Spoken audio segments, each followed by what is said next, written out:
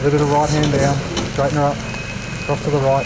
That's good, yep, keep it on that line. G'day, I'm Tim from Oricom. Today I'm going to talk about UHF and what exactly is UHF.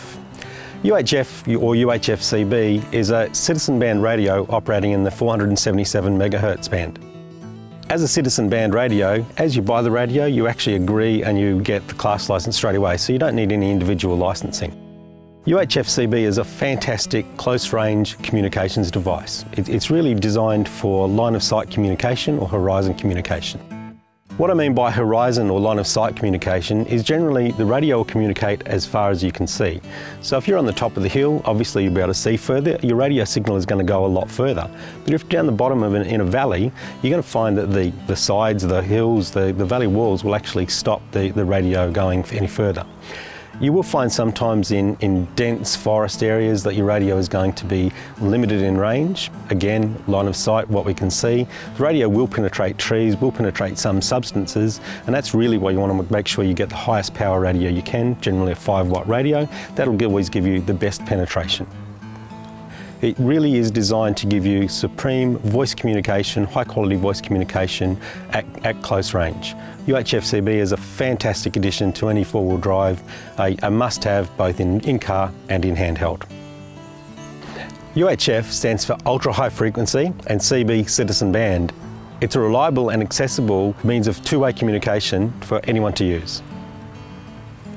UHF-CB shouldn't be confused with the old 27 MHz AM frequency. UHF will give you a much clearer, better close range communication, where the old AM frequency you will find is a lot more static, a lot more environmental noises that will come through that, that frequency. The old 27 megahertz is typically referred to as CB, whilst UHF-CB is typically referred to as UHF, but UHF, the true term for that is UHF-CB.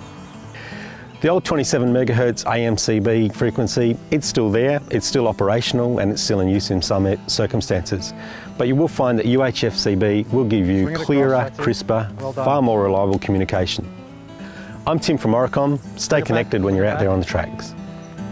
Swing it back, that's it. Nice and gentle now. Straighten up, straighten up as you come towards me. Straighten up, that's it. A little bit to your left. Back, back, back, back, back, back, back. Nice and gentle. Straighten up, straighten up, straighten up, straighten up. Good work, good work. Take it nice and easy. Towards me, towards me. Okay, gentle, gentle, gentle, gentle. The back's coming down. Keep it coming. That's good, that's good. Working well. Towards me a little bit, towards me. Nice and gentle. Towards me, that's it. And back to your left, back to your left. Nice and gentle now, start to straighten up a bit.